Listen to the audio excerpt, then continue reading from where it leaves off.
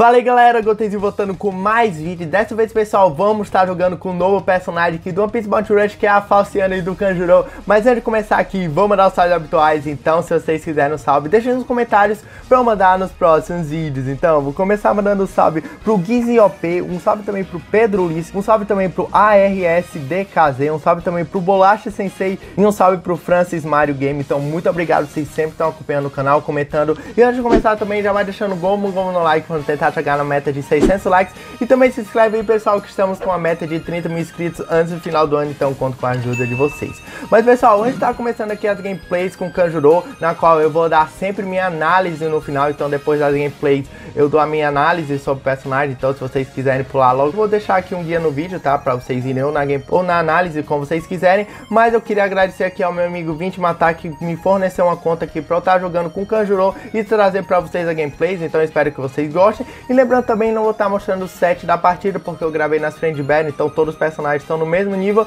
então vai ser legal pra vocês verem como ele se comporta contra outros personagens, ele estando no mesmo level, tá bom? Então pessoal, espero que vocês gostem da partida, falem nos comentários se vocês curtiram ou não Kanjuro, quero saber a opinião de vocês, mas sem mais enrolações, vamos para gameplays. Bem, pessoal, vamos começar aqui a primeira partida com o Kanjuro. Vamos ver se ele é um runner decente ou não. Muita gente tá falando nos comentários que ele tava até que legalzinho, então eu tava muito curioso pra estar tá testando ele, ok, pessoal? Lembrando que isso daqui são minhas primeiras partidas, então vocês vão ver aqui minhas primeiras impressões mesmo do personagem. Nossa, olha a cara... Nossa, essa cara ficou muito parecida com a cara que ele fez no mangá, gente. Pelo menos eu gostei aqui. O designer dele ficou bem feio, então ficou bem feio ao personagem. ficou parecendo Barba Negra. Mas, tá bom, gente gente, vamos começar aqui, ok? Já que ele é um runner, vamos tentar pegar logo essas bandeiras. Nossa, esse mapa aqui, Dressrosa, gente, esse mapa aqui é muito maluco, porque as bandeiras são muito perto uma da outra, então é um mapa bem frenético de estar tá jogando, tá bom? Uh, vamos começar porque a partir, né, pessoal? Vamos tentar pegar essa bandeira aqui da esquerda, estamos mais perto. Será que ele tem... A... Não, não, ele é lento no attack dele, então não adianta para usar com locomoção, tá? Uh, é, vocês viram quando a gente captura a bandeira, a gente recupera HP, tá? Então vamos ver o normal attack dele. No attack dele são attack lentos, tá, pessoal? E ele não se locomove tanto quando usa, né? Então é um normal attack de 3 hits, tá? Uh, pelo menos ele pega uma área, digamos assim, lateral legalzinha, né? Mas de qualquer forma aqui, vamos usar... Ah, não, não. Ah, não. É o Rogério ali, é nosso time, né? Eu quero usar a skill 2 pra estar tá capturando bandeira, pra estar tá mostrando vocês a trait de captura dele. Então é o seguinte, pessoal. O que a gente faz? Vamos ficar aqui na segunda bandeira e a gente usa a skill 2, tá? Olha, e aí vocês vão ver que atinge o Morio. Nossa, ele atingiu, mas vocês estão vendo, atinge e dá efeito de stun. Então muito legal pra gente estar tá comando com skill 1, como vocês podem estar tá vendo aqui, ok? Então, interessante isso. A gente fica aqui capturar a bandeira, que o cara não pode fazer muita coisa, ó. A gente captura e o adversário fica no stun infinito. Cara, isso aqui é muito melã, gente. Olha aqui, estamos capturando. Não!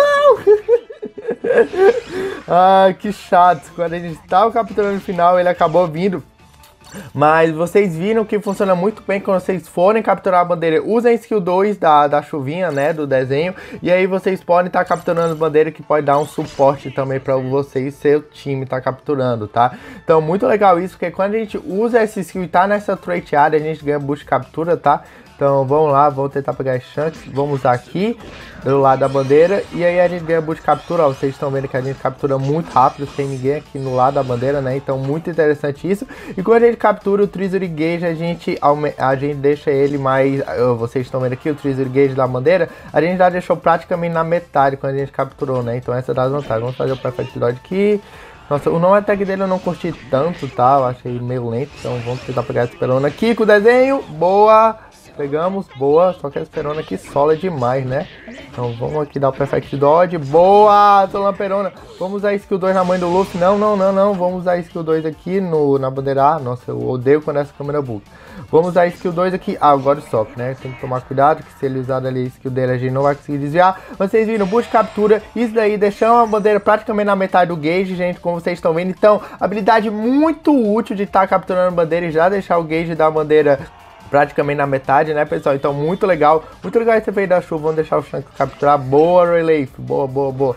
Peraí, não vou deixar o cabelo de cebola ele capturar. Vou fazer o desenho. É, essa skill tem execução muito rápida, gente. Eu curti, tá? Uh, vocês podem usar a skill 2 pra estar tá protegendo o mapa também, tá? Porque Uh, quando a gente tá na área da trait, a gente não pode levar efeito de knockback, então isso é muito legal. Também para estar tá protegendo a bandeira, tá? Então, como eu falei para vocês no vídeo da apresentação, ele é um runner bem versátil, tá? Então acho que tá dando para mostrar para vocês a habilidade. Vou capturar aqui Forte Win, vamos ganhar de 5 a 0 pra humilhação, vamos, vamos, vamos, vamos, vamos.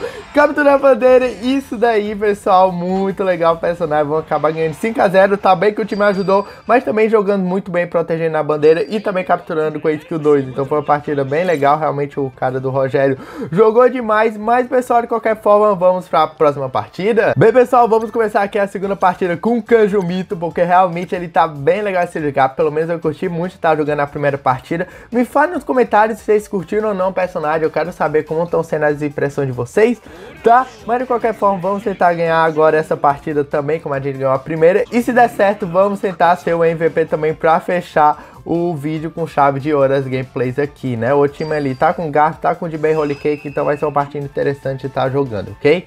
Uh, vamos capturar aqui essa bandeira, não vamos a skill 2, né? Porque bandeira fácil tá capturando, uh, muito legal. Vocês estão vendo que quando a gente captura sem skill 2, a gente não ganha o boost no Treasury Gauge, tá? Da bandeira, então tem essa diferença, ok?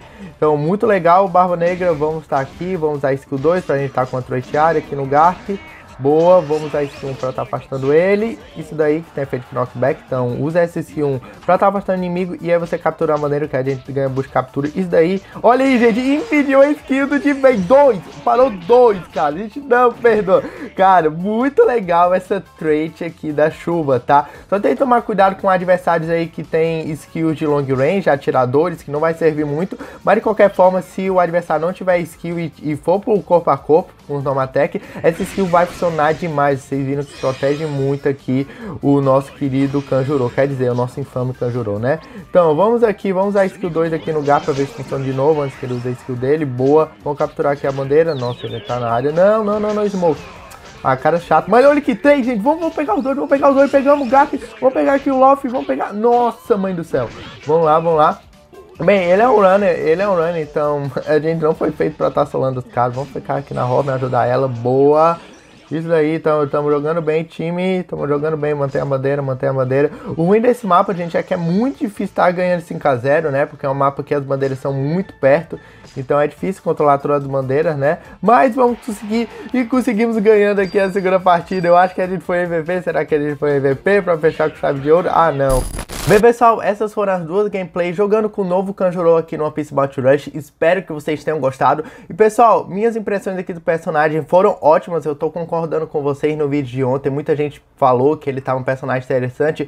Eu achei também, pessoal, principalmente por causa da skill 2 que eu falei até na análise, que eu achava que ia ser o grande atrativo dele. E acabou sendo, porque quando a gente usa, pessoal, se a gente ficar em torno da trait area, a gente ganha um boost de captura. E, além disso, quando a gente captura a bandeira, vocês podem estar tá vendo que o HP HP da bandeira fica na metade, então isso é muito legal de estar tá capturando e já ter preenchido pelo menos a metade do gauge da bandeira, pode estar tá salvando aí a gente em várias circunstâncias, tá? Por isso que ajudou também a gente ganhar de 5 a 0 na segunda partida, porque realmente já deixar o gauge da bandeira pela metade já deixa mais difícil os inimigos estarem capturando a bandeira, tá? Além do boost de captura, que ele torna um personagem muito versátil, tá? Além disso, vocês podem estar tá vendo que eu consegui tancar até que dano, né? Porque ele tem uma trade redução de damage então isso é muito legal, realmente que ele tanca muito dano também. Uh, vocês podem estar tá vendo que ele tem uma defesa base muito alta, então é por isso vocês vão ver que runners são papéis, né, normalmente, mas esse Kanjuro até que tanca um pouquinho de dano, pelo menos eu achei aqui, ok? Eu não sei se você tiver essa mesma impressão, mas pelo menos eu curti.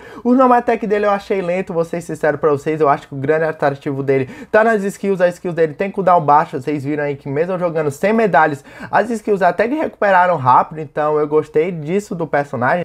Skills com cooldowns muito baixas, como vocês podem estar vendo aqui, 21 segundos, de 32 segundos no nível 5, então são skills que vocês podem estar usando muito frequentemente. Eu achei ele um personagem bem legal, tá? Sobre o set que eu indico vocês estarem utilizando para estar jogando com Kanjuro, pessoal, eu indico aquele set aí para vocês capturarem bandeira mais rápido e também, na minha opinião, o melhor set de runners do jogo, que é o LoL Dressosa, o do Flamingo Dressosa e também o Lucy Dressosa, se vocês não tiverem o Lucy, que é uma medalha de evento, vocês podem estar usando a medalha do God Sop ou estarem usando alguma outra medalha de dress rosa, tá bom? Que esse é um set muito legal de você estar tá usando para você jogar de runner. Na minha opinião, é o melhor set, tá? E é, nos atributos vocês podem até que tá upando a defesa e também o ataque dele. Eu acho que o ataque é importante também, porque as skills dele são ofensivas. Então vocês podem estar tá fazendo um set nesse sentido. Ou vocês podem estar tá upando defesa e HP, porque ele recupera é, HP quando tá capturando a bandeira. Então vocês podem estar tá upando esses dois atributos, tá? Mas a defesa eu acho importante porque ele tem uma defesa base bem alta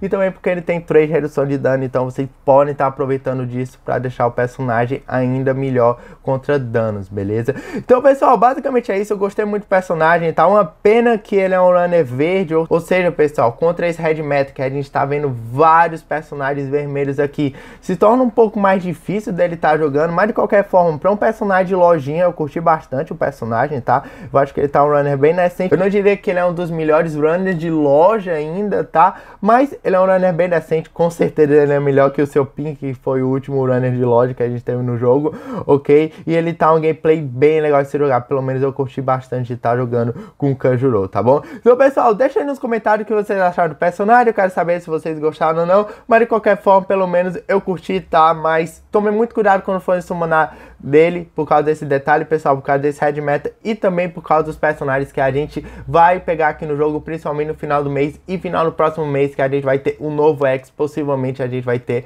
o Kai do Dragão ou Barba Negra com as duas frutas, né? Então realmente muitos personagens legais pra gente estar tá recebendo um Episode Rush nos próximos meses. Mas galera, basicamente é isso. Se você gostou, deixa como um like, se inscreve no canal para vocês não perderem nem mais o vídeo. Então galera, fica com Deus e até o próximo vídeo. Fui!